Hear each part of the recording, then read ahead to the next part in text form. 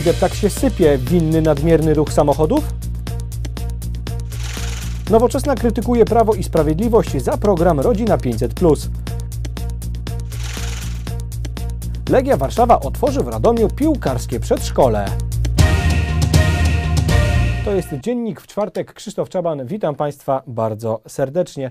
Popękane płyty, braki w kostce brukowej. Tak obecnie wygląda radomski deptak. W tej chwili najgorsza sytuacja jest na Placu Jagiellońskim. Wszystkiemu może być winien nadmierny ruch samochodów. Stan deptaka sprawdzał Mariusz Skopek. Tak obecnie wygląda w wielu miejscach radomski deptak. Na ulicy Żeromskiego kostka brukowa albo luźno leży przy kamienicach, albo jej po prostu nie ma. Za utrzymanie deptaka odpowiada Zakład Usług Komunalnych. Naprawy bieżące jak najbardziej wykonujemy, jeżeli ktoś z mieszkańców zauważy jakikolwiek problem z trotuarem w tym rejonie, niech nas informuje, daje nam informacje na ten temat. My będziemy na bieżąco wykonywać naprawy tego chodnika w możliwie jak najszybszym czasie. Patrząc na zdjęcia, które wykonaliśmy w środę, pracownicy Zakładu Usług Komunalnych będą mieli pełne ręce roboty. Jednak to, co dzieje się przy kamienicach przy ulicy Żeromskiego jest niczym w porównaniu do tego, co dzieje się w pobliżu kościoła garnizonowego. Tu można natknąć się na popękane płyty granitowe, które nie tak dawno były wymieniane, a w tej chwili wyglądają fatalnie. Przed kościołem garnizonowym wymieniliśmy około 35 płyt granitowych. To było 5 płyt 50 na 50 cm i 30 płyt 60 na 100 cm. Koszt tych prac? Ponad 8 tysięcy złotych. Możliwe, że za fatalny stan deptaka odpowiada ruch samochodów. Tylko przez 10 minut udało nam się nagrać kilka samochodów, które przejechały przez deptak. Miejski Zarząd Dróg i Komunikacji, który wydaje pozwolenia na wjazd na deptak, przekonuje, że dokumenty trafiają tylko i wyłącznie do upoważnionych służb i osób, które mają swoje lokale przy ulicy Żeromskiego. Staramy się, aby tych pozwoleń było jak najmniej. Wydajemy dwa rodzaje tych pozwoleń. Pozwolenia roczne bezpłatne oraz kwartalne płatne. Jeżeli chodzi o pozwolenia bezpłatne roczne, jest ich obecnie 111. Są to pozwolenia tylko i wyłącznie dla służb miejskich, między innymi dla naszych pojazdów, do pojazdów Zakładu Usług Komunalnych, dla pojazdów służb oczyszczania miasta, ponadto dla pogotowia, straży pożarnej czy policji. Jeżeli chodzi o zezwolenia płatne, jest ich obecnie 117 i to są pozwolenia głównie dla właścicieli firm oraz sklepów działających w obrębie tej części miasta. Miasto chce również ograniczyć na deptaku ruch śmieciarek, które zabierają odpady z kamienic przy ulicy Żeromskiego i które mogą również niszczyć nawierzchnię deptaka. Pomyśleliśmy o tym, żeby ograniczyć może ten ruch na pod całym deptaku. Do nowego przetargu wpisujemy taki warunek, żeby śmieciarki nie robiły sobie przez plac Konstytucji skrótu. Bo one sobie robią skrót po prostu, żeby nie na ulicę Piłsudskiego nie wjeżdżać od ulicy Traugutta, robią sobie skrót przed plac. I takie ograniczenie wprowadzimy, żeby rzeczywiście na tym odcinku, gdzie jest ten taki najważniejszy, centralny deptak, śmieciarki tam miały zakaz wjazdu. Taki zakaz może wpłynąć na poprawę stanu deptaka, tym bardziej, że nawierzchnia tej części ulicy Żeromskiego jest przystosowana na samochody o masie nie większej niż 8 ton. Politycy nowoczesnej krytykują rząd Prawa i Sprawiedliwości za wprowadzenie programu Rodzina 500. Ich zdaniem propozycje PiS mogą doprowadzić do zapaści budżetu państwa. Jednocześnie członkowie ugrupowania Ryszarda Petru proponują wprowadzenie ich autorskiego programu Bezpieczeństwo dla rodziny. Politycy nowoczesnej krytykują przede wszystkim sposób, w jaki rząd chce pozyskać pieniądze na realizację programu Rodzina 500. Z jednej strony politycy PiSu mówią, proszę bardzo, szanowne rodziny, nasi wyborcy, dajemy wam 500 zł. Ale z drugiej strony z kieszeni wyjmują portfel z tymi pieniędzmi, które oferują. Czyli tak naprawdę jest to polityka kupowania sobie wyborców za ich własne pieniądze. Zdaniem sympatyków nowoczesnej nie ma żadnych dowodów na to, że program Prawa i Sprawiedliwości doprowadzi do wzrostu demograficznego. Nie ma badań, które by e, potwierdzały, że e, zasiłki w formie bezpośrednich transferów prawda, na dziecko, że one podwyższają dzietność. E, wręcz odwrotnie, jeżeli przypomnimy sobie raport z Kongresu Demograficznego z 2012 roku, którego współautorem był profesor Strzelecki, to z niego wynika, że akurat to nie te zasiłki oddziały, oddziaływują przede wszystkim, tylko stworzenie odpowiednich warunków do opieki nad dziećmi. Jednocześnie Nowoczesna zaproponowała własny program pomocy polskim rodzinom. To, co jest najważniejsze dla młodych ludzi, którzy chcą mieć dzieci, jest to, żeby mieć zapewnione mm, sprawy lokalowe, mieszkaniowe.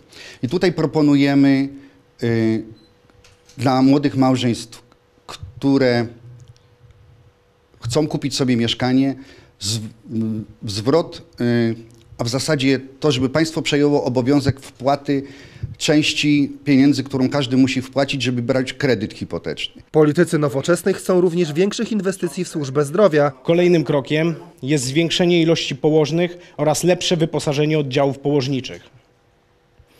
E, leczenie, finansowanie leczenia bezpłodności, w tym in vitro. Program Bezpieczeństwo dla Rodziny autorstwa nowoczesnej ma kosztować 6 miliardów złotych. Natomiast program Rodzina 500 Plus według wyliczeń członków ugrupowania Ryszarda Petru ponad 17 miliardów złotych. Połowie marca Legia Warszawa otworzy w Radomiu piłkarskie przedszkole, w którym będą prowadzone zajęcia dla dzieci w wieku od 3 do 7 lat. Treningi będą prowadzone przez wykwalifikowanych trenerów, którzy wiedzą, w jaki sposób postępować z tak młodymi zawodnikami. Wkrótce dzieci biegające w koszulkach wielokrotnego mistrza Polski będzie można zobaczyć w Radomiu. Legia Warszawa otworzy w mieście piłkarskie przedszkole. Przede wszystkim e, chcielibyśmy poszerzać legijną rodzinę, usportawiać mm, najmłodszych. E, nasze zajęcia będą przewidziane dla chłopców i dziewczynek w wieku 3-7 lat. Dlaczego Radom? Przede wszystkim dlatego, że jest to drugie e, po Warszawie największe miasto na Mazowszu. Wiemy, że w Radomiu jest mm, dość duży potencjał sportowy i po prostu chcielibyśmy go wykorzystać. Treningi będą prowadzone przez wykwalifikowanych trenerów, a same zajęcia ze względu na wiek dzieci będą różniły się od tych, które są prowadzone w starszych grupach wiekowych. Zajęcia przede wszystkim ukierunkowane są na piłkę nożną, są to zajęcia ogólnorozwojowe, gdzie podczas e, znacznej większości czasu tych zajęć e, operujemy piłką. Mm, grupy będą maksymalnie 15-osobowe, także dzieci będą miały mnóstwo przestrzeni dla siebie e, i tak jak powiedziałem, przede wszystkim zabawa.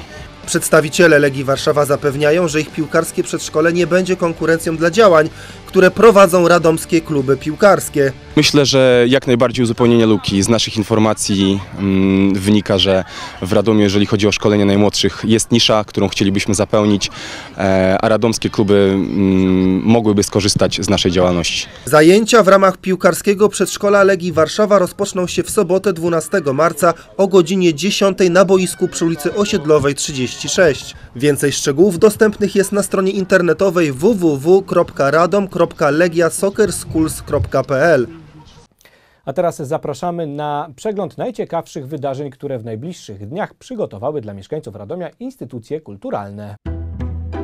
Tydzień w kulturze zaczynamy od kina. W piątek 12 lutego Helios zaprasza na maraton walentynkowy. Będzie i strasznie, i romantycznie, bo przygotowany zestaw filmów zadowoli nie tylko zakochanych. Wielbiciele mrocznych thrillerów będą mogli przeżyć chwilę grozy oglądając filmy Loft i Demon, a miłośników romantycznych komedii Helios zaprasza na polską produkcję Planeta Singli z doborową obsadą oraz premierowo film pod tytułem Jak to robią single. Start godzina 23.30. Czy Beata się obraziła? Która? Eee, nie. Przyjaciółka Magdy.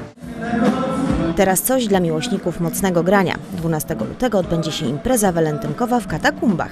Na muzycznej scenie wystąpią cztery zespoły. Cześć, jesteśmy Decolt. Zapraszamy na walentynki w Katakumbach, które odbędą się 12 lutego. No i kto zagra? E, Be Brave, Vapor, Fox Mothers.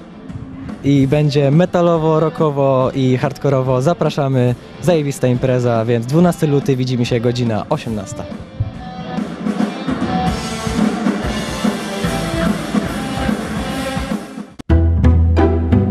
13 lutego o godzinie 16 Mazowieckie Centrum Sztuki Współczesnej Elektrownia zaprasza na wernisaż wspólnej wystawy małżeństwa dwojga artystów Joanny Krzysztoń i Grzegorza Rogali.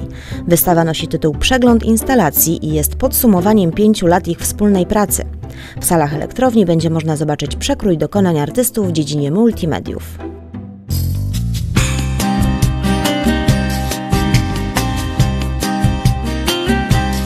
Dawna dziewczyną Maciej Maleńczuk zagra 14 lutego o godzinie 19 w sali koncertowej Radomskiej Orkiestry Kameralnej swój solowy koncert. Będzie to przegląd dotychczasowych dokonań artysty składający się z zestawu utworów zarówno ulicznych, jak i późniejszych dokonań, które zyskały mu tak ogromną sympatię i popularność wśród publiczności. Samolot Brukselczyki, sprzedawczyki, obiad zamawiali. Na koniec zaproszenie na jeszcze jedną wystawę, tym razem w Muzeum imienia Oskara Kolberga w Przysusze, zatytułowaną W kręgu opoczyńskiego haftu i koronki. To ekspozycja, na której możemy obejrzeć elementy stroju ludowego, koszule, kaftany, chustki, a także wyroby dla domu, bieżniki, serwetki, obrusy, ręczniki oraz bieliznę pościelową. Wystawa prezentuje zbiory Muzeum imienia Oskara Kolberga w Przysusze, Muzeum Wsi Radomskiej w Radomiu oraz pochodzące z kolekcji prywatnych. Czasowej ekspozycji towarzyszą warsztaty przybliżające techniki powstawania koronki oraz haftu krzyżykowego, najbardziej charakterystycznego dla regionu opoczyńskiego. Na koniec mamy jeszcze zaproszenie na długi wywiad z Elite Warsaw Cheerleaders. Michał Szprendałowicz pyta m.in. o to, czy tańczące dziewczyny nie rozpraszają przypadkiem koszykarzy. Warsaw Elite Cheerleaders, witajcie dziewczyny. Cześć. Cześć. Yy, I powiedzcie, tak na początek was zapytam, jak to z wami jest, bo wy jesteście z Warszawy, prawda? I to jest yy, jakby fakt niezaprzeczalny, ale dojeżdżacie tutaj do Radomia, no i to główne show jakie dajecie, no to dajecie w Radomiu z tą Warsaw Radom chyba jesteście najbardziej kojarzone, prawda? Dobrze mówię? E, to znaczy oprócz e, występowania na koszykówce tutaj w Radomiu miałyśmy okazję występować na futbolu amerykańskim. E, superfinał e, Wrocław 2015, superfinał Gdynia 2014, e, jak również na innych imprezach, m.in. na Drift Masters w Płocku, w Toruniu, w Radomiu również i na różnych innych imprezach. Cały długi wywiad z dostępny oczywiście w zakładce Sport na www.zebra TV i ta informacja kończy to wydanie dziennika. Zapraszam jeszcze Państwa na prognozę pogody. Do zobaczenia.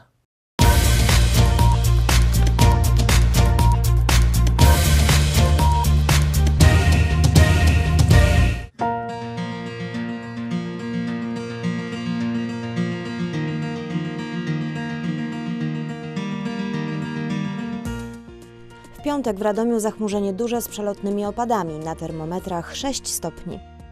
Sobota pochmurna z przejaśnieniami, bez opadów, a termometry w najcieplejszym momencie dnia wskażą 5 stopni. Niedzielę sporo chmur, okresami przejaśnienia, słabe opady deszczu i 7 stopni na termometrach.